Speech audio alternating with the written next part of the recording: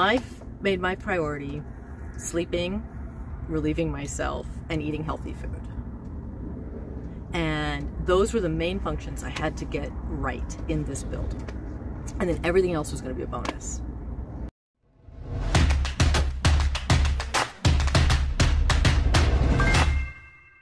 So I met Iishana about a year and a half ago and we had this instant connection. I think because for both of us, we hadn't yet met any married um, solo travelers who had left their husband at home.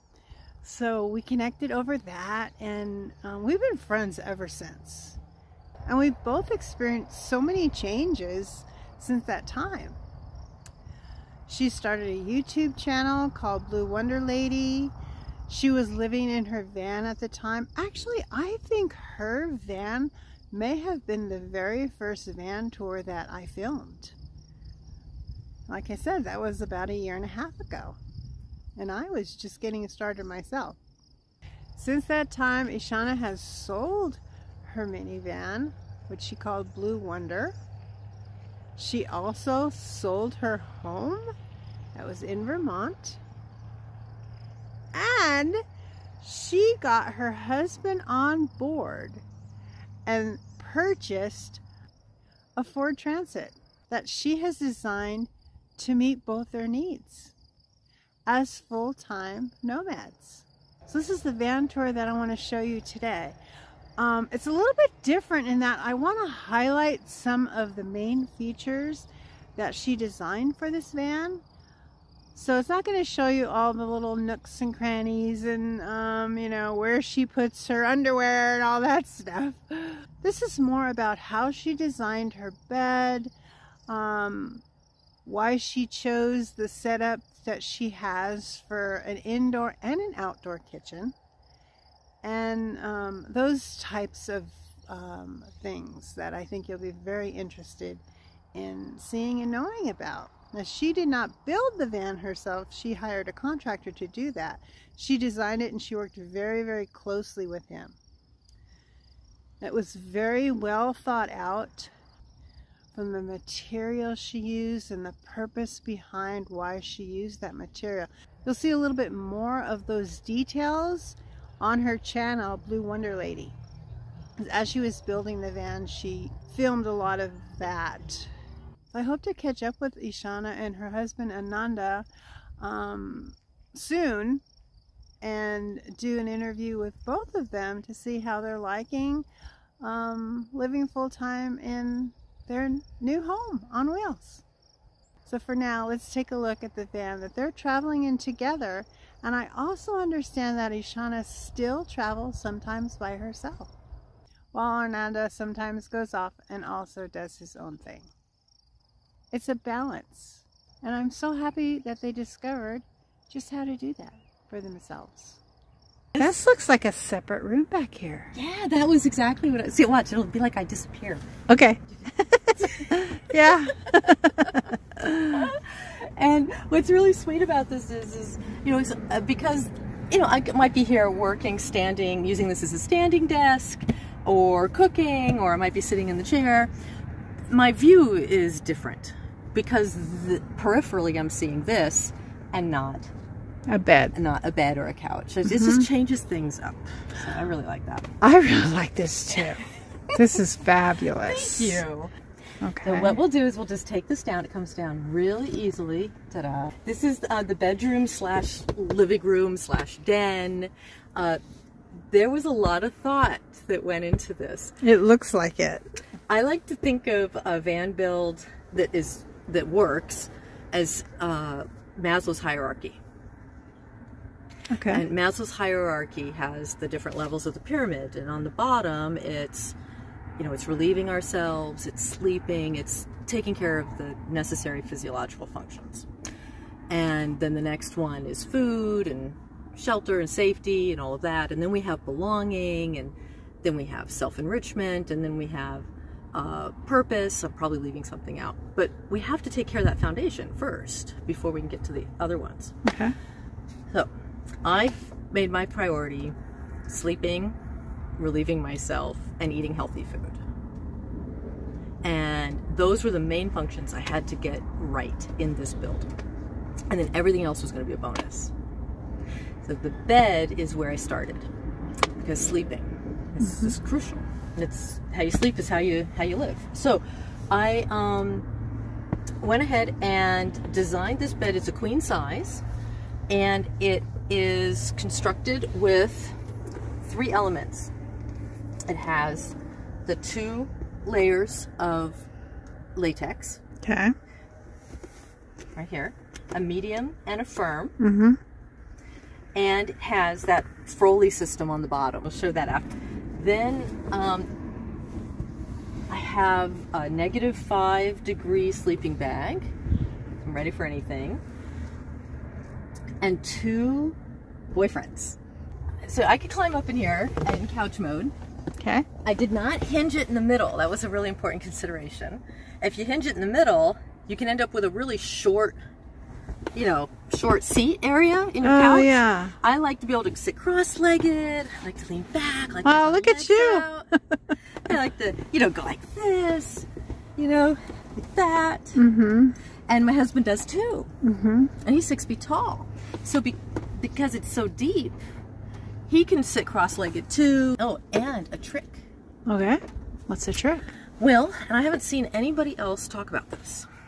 In order to get your maximum width, which I also have a video about. Okay. Um, there are certain construction things you can do. But then once it's all constructed, there's still something else you can do. And that is... I'm waiting. you, have got my attention. now let's see if, do I have it here? Yep. This is my pillow. Now, in my case, I needed a cervical pillow because of neck stuff, but the width is what I want, I want to share with you. You can take latex or memory foam or whatever and cut it to whatever width you want. You don't have to use up this much space with your pillow. Or your head only needs this much space. Oh. The, the longer your pillow, the more you're shoved down. True. So you lose a lot of inches of width or length. I guess it would be length of your bed in in your van. So the narrower your pillow, okay, I have, I have not have. heard anybody right. say this before. And I just stumbled into this. This was purely by accident. Uh, let's see the springs underneath the mattress. All right. Ta-da! Oh my gosh! How did you think of this? oh my gosh. Well, after struggling and suffering through uh, foam on plywood, knew I needed some bounce under me. Mm-hmm. And so I researched uh, I don't know how I researched more bounce on bed without just getting porn. Yeah. but uh, luckily, the Froli system turned up. Froli system. Froli system. And uh, RVers are using it more and more. It, it, these squares have give in them. Yeah. And then these little beige crosses attached to one another. Mm-hmm. And depending on how close you place all of it, because there are different holes, so you have choices, you get varying degrees of bounce or firmness. Mm-hmm. So you can totally customize it. Why are they different colors? Uh, well, the blue and the light blue uh, are different tensions. Uh, I think the light blue, it feels softer, so it, bend, it bounces more easily mm. than this one, than the dark blue. And then there are also these red inserts you can put in, which I have on the front part, okay. where you need more support. Oh. So, you know, under shoulders, hips, you know, whatever you prefer.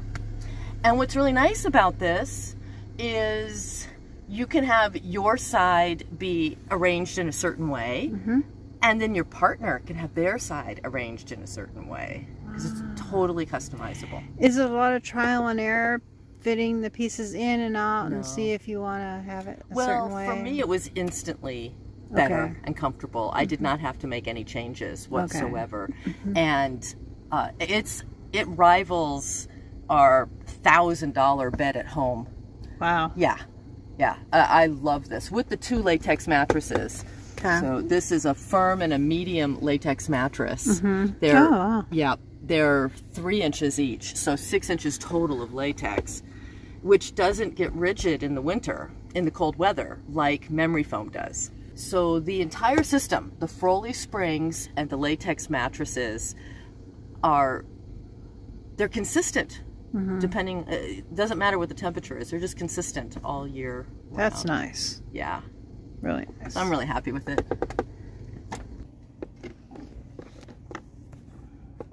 These red crosses are inserted and you can take them in and out and place them wherever you need them and it makes it so that the the squares don't bend as much so you're adding firmness I added firmness on the outer edge since that's where I get in and out Makes sense. and then I add, um, yeah, I think actually that's the only place I added firmness. Yeah, because I found that it was just fine in here.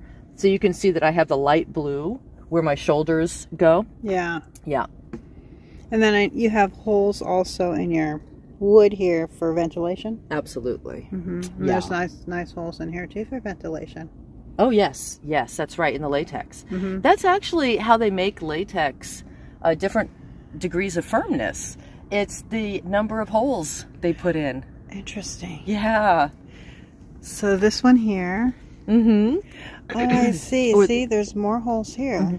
They're in the- Smaller holes. Smaller holes, the size of holes. Yeah, sorry, Okay. it's the size and of holes. larger holes. holes here. Yeah. Oh, that I never knew that. Yeah. Learn something new every day. Huh? Every day, especially in van life. Yeah. Thanks for showing us your bed. Oh, yeah, yeah. Is this side here the same as this? I love what you did here. Oh, thank you. It's so cozy and so warm. yeah, yeah.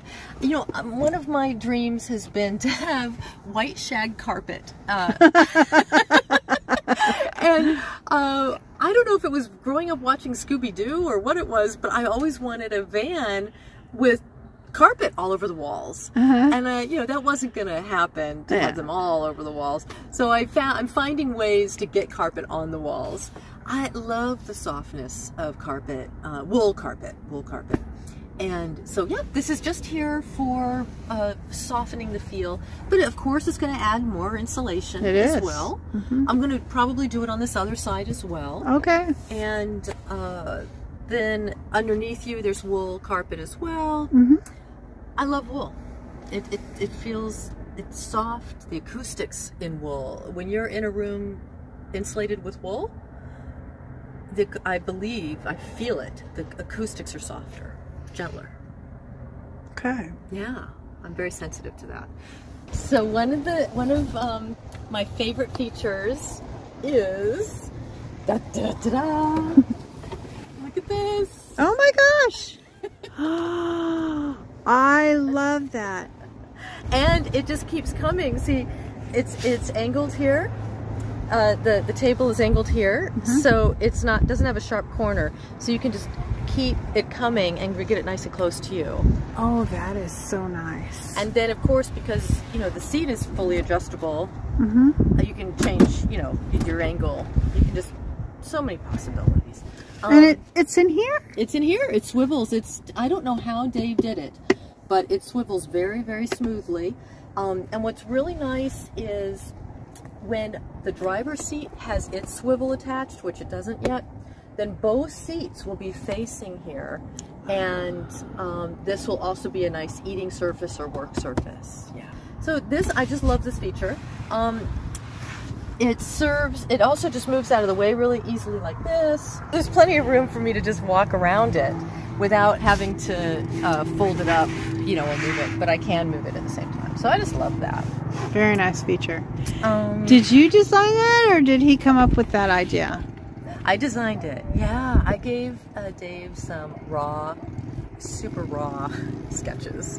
And, you know, I'm not great at all at making things pretty, but I'm really good at making them functional.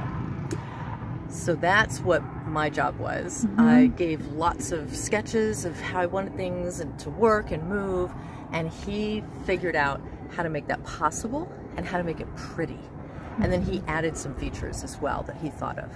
Wow. You can cook here. Yeah, absolutely. You can cook up here. Absolutely. Or you said you can take it in the back and you can cook it in the back. And I have a second one in the back as well. So I can have Oh. two side by side. oh, I see. So you're not moving the propane tank. Right. That's right. I have two stoves as well. Two stoves as well. Oh, yeah. that you know that's smart. Yeah. And because sometimes you have more than one thing going. And they're not expensive. Oh, no. They're it's really like not. $35, I think. Mhm. And it will run propane or butane. Yes. which is great. And I just, I really like the idea too of um, if it's windy like it is today or raining, I don't have to go get my stove from the back kitchen to bring it in to use it. You Mhm. know, I already have one in here. Which do you prefer, the propane or the butane? I don't notice a difference. I don't think I, I, I pay attention. I just, What do you tend to use more? um, I like the butane because it's so compact. Mhm. Um, right now, I'm only using propane because I have the gallon tank here Mhm. instead of having to keep track of all the little butane bottles. Okay. So right now I'm using propane, but I'm not really thinking it through closely. I'm just, it was at hand, so that's what I'm using. Okay. Yeah. But I know that they have advantages. Like butane is, is it better or worse in the cold weather? Worse. Worse. Okay. And I don't plan to be in that cold of weather. Mhm. So I'll be fine with um, either one. I see that you have a Berkey. Indeed. I love the Berkey. This is a Berkey that's on a little plastic plate that I got from Walmart. It slides around beautifully. It also will contain any leaking that might happen through the gasket, uh, which hasn't happened yet, but it happened in the sticks and bricks. So I know to look out for that here. Okay. And what I do is I just uh, lift it up a little bit and then I can Oh, I see, right on the edge of your. Okay. It's a travel Berkey. Uh, so there are a lot of advantages to this, I, I feel. Um, if you look inside, you'll see how small a space it actually is. So there's very, that's just enough water for a day, really, uh, Oh, because okay. the, the cartridges take up a lot of room. they which do. is kind of perfect because it all is going to come down here. I'm going to use it up, and then I can just take it apart, right? Mm-hmm. It folds into itself, and that way when I'm going and driving, it's super easy. If it was a larger one, there would be all that excess water I haven't used yet, and so Mhm. stowing it for driving would be trickier. Okay. Or I'd have to fill up a, another container. So Yeah. I really like the small one. It's a special fabric, isn't it? It is a non-toxic fabric. It has not been treated with anything flammable. It was on a chair. The, the same kind of fabric was on a chair in a co-working space that I fell in love with. I took a picture of it. And uh, the Dave, who did the van, found this fabric at Joanne's Fabrics. And it's insulated. It's insulated. The, the entire van is Havelock wool. oh wow! So it's really soft, you know Mhm. um, and non-toxic again and it'll absorb that moisture and release it when it's the air is dry enough which will help prevent corrosion and mold. Mhm. my husband is six feet tall so when he's here in the van he doesn't have to have his head connect contacting something hard. It's soft padded and he's doing great with it.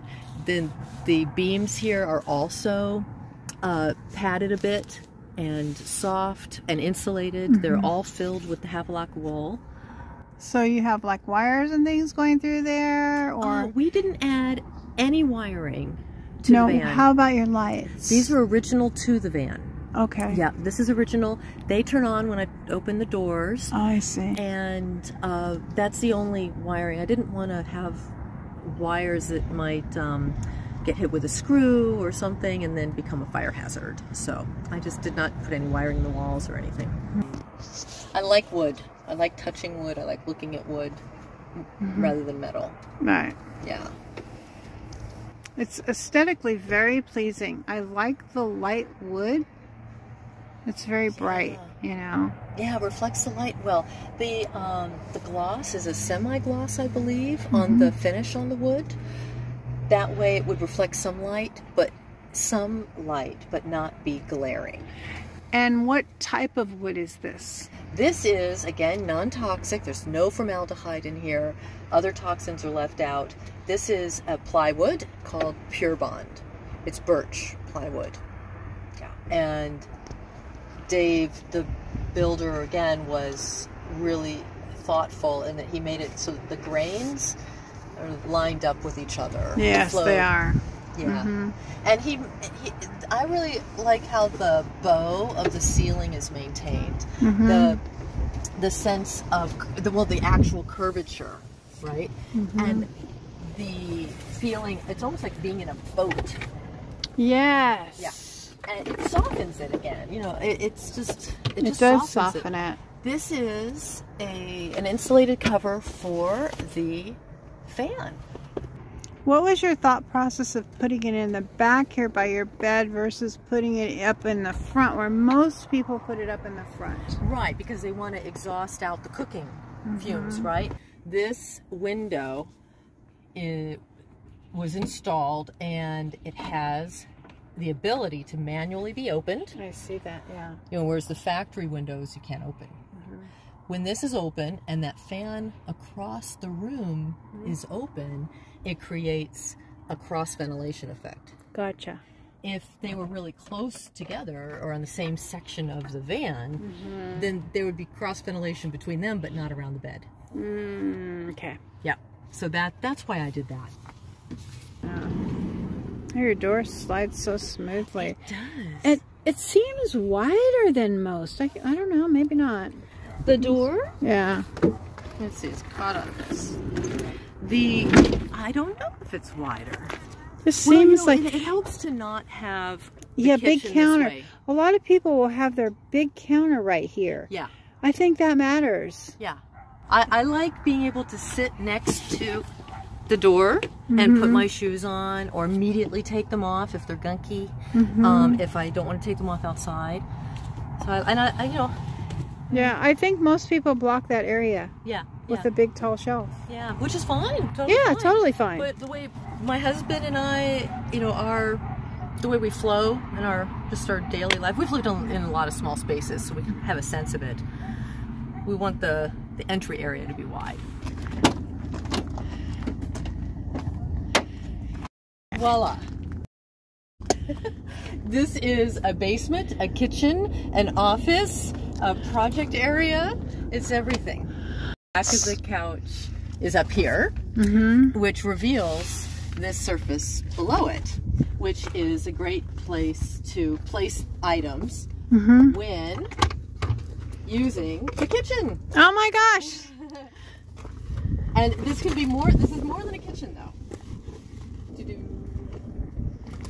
How nice your builder made this. But it was your design, right? Yeah, it was my design. Um, Dave Vidum in New Hampshire is the builder, and he took all my raw drawings and made them work and beautiful. And he figured things out that I hadn't anticipated, and he added certain features.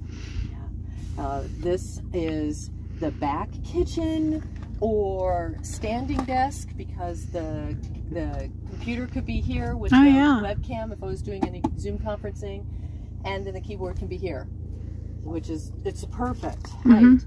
And I can also sit in a chair, you know, here, You here, could. two people sitting in a chair, Mhm. and have a place to put our our drinks, and then um, of course I can cook here as well.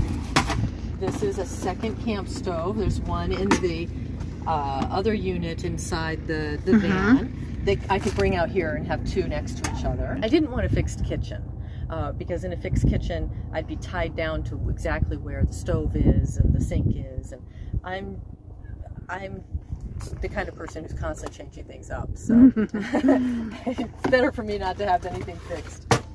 I keep my tent, my tools, the screen tent and chairs. This is electronics primarily, and my musical instruments. Nice organization. Thank you. This is a tip. So the batteries need to breathe, and they also need to be stable. Uh, how do you do that without wrapping something around your battery or putting it in a tight little container? I use the styrofoam that came with it in the box Mm-hmm. because the styrofoam lifts it up off the ground. It has vent holes in it, and it also on the top. I put it on top of the battery uh, so that I can stack things on top of the battery, but the battery can still breathe because And what type of battery is that? it's a Bluetti E EB70S. Okay. Yeah, I believe it's 700 peak and 500 watt hours. Mhm. I think that's what it is. Mhm. Um, And do you have the same kind inside? I don't Uh-huh. remember. I do same exact The kind. same one. And the solar panel uh, on top of the roof. This is this is the cable. It runs all the way up here. I'm Mm-hmm. going to be putting a video on my channel for how I installed that. Okay. Uh, this little cable here, this extension Mm-hmm. cable, runs to the battery inside the van, Mm. so I can alternate uh, for charging which battery. Eventually, I'll get a, I don't know what they're called, a splitter or some kind Mm-hmm. that I can plug into here, and then have. Somehow I need to figure it out so that they're both hooked up to the solar, but then I can just take this up to the solar when I need to as well, nice. which I'll do right now actually. There we go, Okay. Good. and that's done, easy. So now the bottom one is being charged. Nice. And th- this is what powers the the vent fan Mm-hmm. at the top of the ceiling, and primarily that's what it's for. And then it's a backup battery. Nice. Yeah. And how do you shower? Oh, I am a sponge bather, and I love truck stops and laundromats for my Okay. showers. Mhm. Again, I like variety. If it if, the, if it was always the same Yeah. shower I mean, that's why we're doing this, exactly, right? I really love it. Yeah. Awesome, Iishana. Thank you so much. Yeah. I've enjoyed having our friendship and hopefully it continues. Oh yeah, Many, many years. Oh, definitely. Doesn't she have some fabulous features in her van? I think it's great. And there's more. Just go check out her channel, Blue Wonder Lady, and you'll find a ton of videos, not just on her van, but of some really awesome topics that she goes over. I just love her channel. You can also connect with Iishana and myself as well on the new website, nomadsdowntheroad.com. And Iishana connects with her followers through her village on that website. So check that out as well. I'll put some links in the description to make it easy for you to find those. So I hope you enjoyed this video as much as I enjoyed bringing it to you. Please like, and if you haven't already, subscribe to this channel and also to Iishana's. See you on the road.